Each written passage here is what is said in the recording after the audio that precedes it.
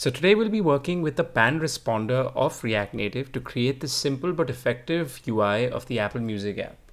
So if you use the app, you see this now playing toolbar at the bottom when the song is minimized. And when you just pan on this, you see that the icon increases in size and you get these other details at the bottom. You can also continue scrolling here and you'll get the other songs that are available. When you scroll back down, and you pull down, you see that the icon decreases in size and we bring it back to the bottom like it was. This should be fun to build, so let's begin. As always, I have an empty React Native project I've created with Expo. Let's start by importing certain things that we'll need. The first is going to be dimensions. To get the dimensions of the screen, then animated, pan responder, scroll view, an image, and the slider here on top. Let's first get the screen height and width.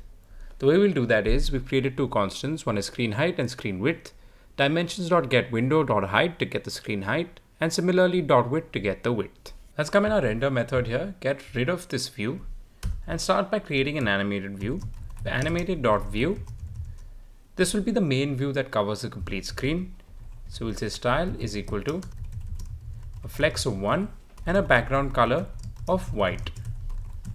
This background color is something that we'll animate later. Inside this, we'll have an absolutely position animated view on which we'll add the pan responder.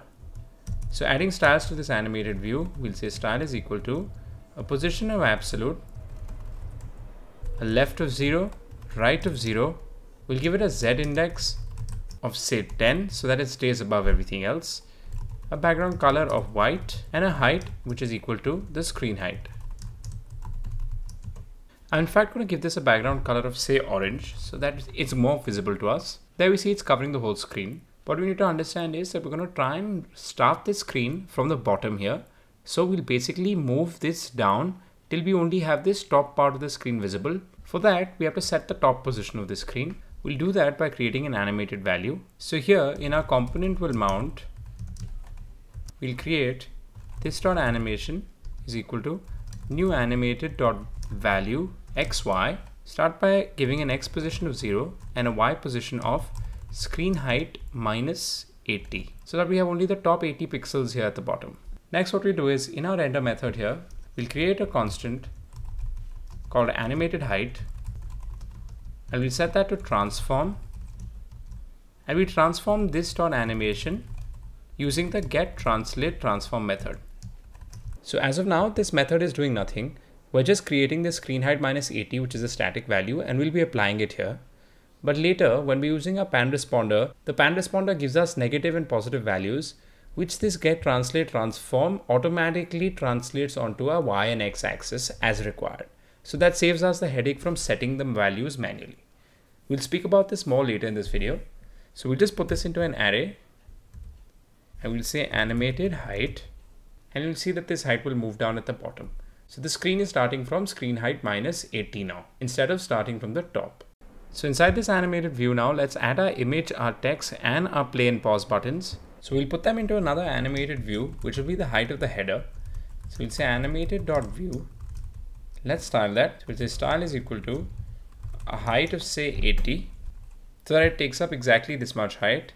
We'll give it a border top width of 1, a border color, border top color, for nice gray, a flex direction of row,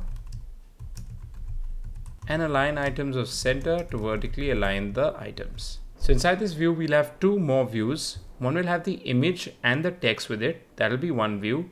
And there'll be one view which will have the icons on the side. So we'll combine the image and text into a view which has a flex of 4. So that takes up a lot more space. We'll give it a flex direction of row again. And to vertically align the items, we'd say align items center.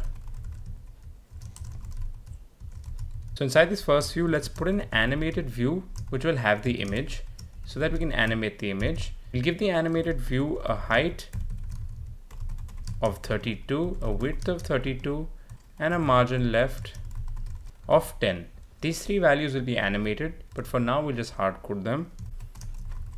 We'll put the image inside it with a style of flex equal to 1, a width of null, height of null, so that it takes up all the available space and we pass in the source which will require an image from my assets folder.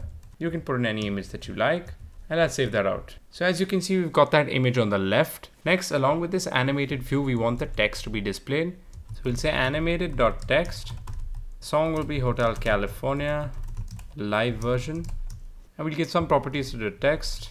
So we'll style it by saying opacity of 1, which we'll animate later, font size of 18, and a padding left of 10. As we can see, we've got the name there. Let's just change this background color back to white for now. And lastly, let's add the play and pause buttons. So that'll be another view here. So we'll put in another animated dot view because we want to animate the opacity. Inside this, let's put in some icons. So for that, let's import the icons on top. These are already provided to us by Expo. So we'll say import Ionicon from at Expo forward slash vector icons. So inside this animated view, we'll put in the Ionicons. Name of the icon is MD pause. Size is equal to 32. I'm just going to duplicate this. The other one will be MD play and the size will remain 32. Obviously that doesn't look right. So in this animated view, we're just going to add some styles. Again, opacity of 1, which we'll animate later. Flex of 1, flex direction of row, and justify content of space around. So as you can see, we've got the icon where we need them. This particular view is taking up flex of 4, which we mentioned over here. And this particular view is taking up a flex of 1. So now we've got our basic UI set up. In the next video, we'll start animating this.